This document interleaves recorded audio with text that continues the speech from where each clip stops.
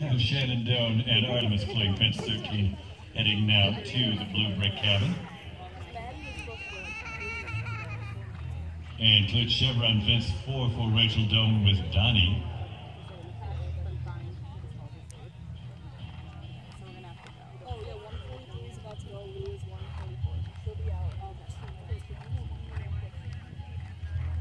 And